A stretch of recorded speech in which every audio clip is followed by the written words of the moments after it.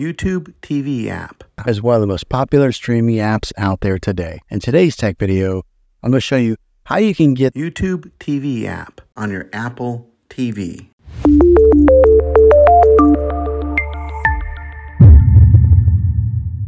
It can be really frustrating if you want to watch some of the great content that is on YouTube TV and you find that your TV is unable to download this app. Maybe you have an older model TV that isn't able to download any streaming apps, or your TV is unable to connect to the internet to get this app. So the way that I'm going to show you how to install YouTube TV app. be able to work on any model of TV and any year of TV. You just have to have an HDMI port plug into. Now, the way to give your TV the ability to install YouTube TV app. to get a streaming device to plug into your TV, I recommend getting a Roku stick or Amazon Fire Stick. Both of these media streaming players have the capability of downloading. YouTube TV You would then use this Roku or Fire Stick as your main streaming player, which bypasses the operating system on your TV. And if you want to get a little more robust device that gives you more options, spend a little more and take a look at the Apple TV 4K. All of these devices plug into the HDMI port on your TV, no matter how old it is or what model it is. I've had great luck with all these streaming players, and I'll put links in the description down below of where you can get one of them. But there you have it, folks.